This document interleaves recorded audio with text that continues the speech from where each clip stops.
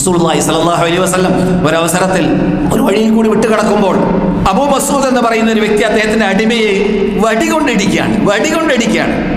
ആ അപ്പോൾ ഇടിച്ചുകൊണ്ടിരിക്കുന്ന സമയത്ത് ബാക്കിൽ നിന്നിട്ട് അബാ മസൂദ് അബാ മസൂദ് അബാ മസൂദ്, "ഏ, എല്ലാം അബാ മസൂദ് എന്ന ശബ്ദം കേൾക്കാണ് അപ്പോൾ മൂപ്പര് ആദ്യം ക്ലിയർ ആയ ശബ്ദമല്ലായിരുന്നു. പിന്നെ ക്ലിയർ ആയപ്പോൾ ബേക്കിൽ നോക്കി ബേക്കിൽ നോക്കി മൂപ്പര് പേടിച്ചു റസൂലാണ് റസൂലാണ് വിളിക്കുന്നത് റസൂലാണ് കണ്ടത് ഞാൻ എന്റെ അടിമയെ അടിക്കുന്ന കാഴ്ച.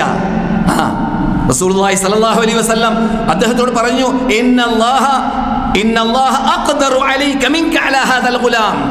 ഈ കുട്ടിക്കെതിരിൽ ഈ കുട്ടിയോട് നീ കാണുന്ന അക്രമത്തിന് പരാക്രമത്തിന് തക്കതായ പ്രതികാരം നിന്നോട് ചോദിക്കാൻ അള്ളാഹ്ക്ക് സാധിക്കും നീ എന്താ മനസ്സിലാക്കിയത്? ആ ഈ ഗുലാം അഥവാ അടിമ അടിമയെ ദ്രോഹിച്ചു അടിമയെ ഇടിച്ചു. ആ ഉടനെ തന്നെ അള്ളാഹുവിന്റെ വഴിയിൽ ഞാൻ അദ്ദേഹത്തിനെ സ്വന്തനാക്കി വിട്ടു എന്ന് അദ്ദേഹം പ്രഖ്യാപിക്കുന്നു. എന്താണ്? ആ സമീപന കണ്ടില്ലേ? ആ അക്രമത്തിൽ നിട്ട് അറുതി വരുത്താൻ ഉടനെ തന്നെ ആ പറഞ്ഞ വാക്ക് കേട്ടപ്പോൾ ഞാൻ ആ അടിമയെ എന്ത് ചെയ്തു? എച്ചക്ക് ചെല്ലി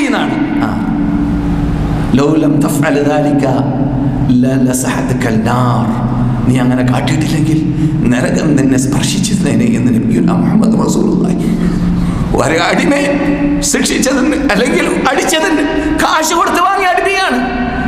അവിടെ ഇപ്പോൾ എത്തിക്കച്ചില്ല എന്ന് പറഞ്ഞാൽ നമുക്ക് കേൾക്കുമ്പോൾ എളുപ്പം തോന്നുമല്ല. ഒരു പക്ഷെ പത്ത് ലക്ഷം ഇന്നത്തെ കാലഘട്ടത്തിലുള്ള പത്ത് ലക്ഷം റിയാലൊക്കെ വിലയായിരിക്കും അടിമയുടെ വില.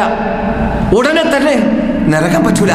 എനിക്ക് വേണ്ട സ്വർഗമാണ് അതിനുടനെ തന്നെ അദ്ദേഹം അഥവാ നീ അടിമയെ മോചിപ്പിച്ചിട്ടില്ലെങ്കിൽ നിന്നെ തീ സ്പർശിച്ചിരുന്നേനെ നബിഗുന മുഹമ്മദ് റസൂലുള്ളാഹി സല്ലാഹു അലൈഹി വസല്ലം. അപ്പോൾ ഇങ്ങനെ റസൂലുള്ളാഹി സല്ലാഹു അലൈഹി വസല്ലം ഏത് സന്ദർഭത്തിൽ എവിടെ പ്രശ്നങ്ങൾ വരുന്നു അതിനെയെല്ലാം കയ്യാളി കയ്യാളി കയ്യാളി പരിപൂർണ ഉഹൂവത്തുള്ളതായ ഒരു ദുൽമില്ലാത്ത അക്രമമില്ലാത്ത അനീതിയില്ലാത്ത തട്ടിപ്പില്ലാത്ത വെട്ടിപ്പില്ലാത്ത അനാചാരമില്ലാത്ത അക്രമമില്ലാത്ത അനിസ്ലാമിക ഏത് രൂപ ശൈലികളില്ലാത്ത ഒരു സമൂഹത്തെ വാർത്തെടുക്കാൻ വേണ്ടി സ്വല്ലല്ലാഹു അലൈഹി വസല്ലം പരിശ്രമിച്ച ഭാഗമാണ് നാം കേൾക്കുന്നത്.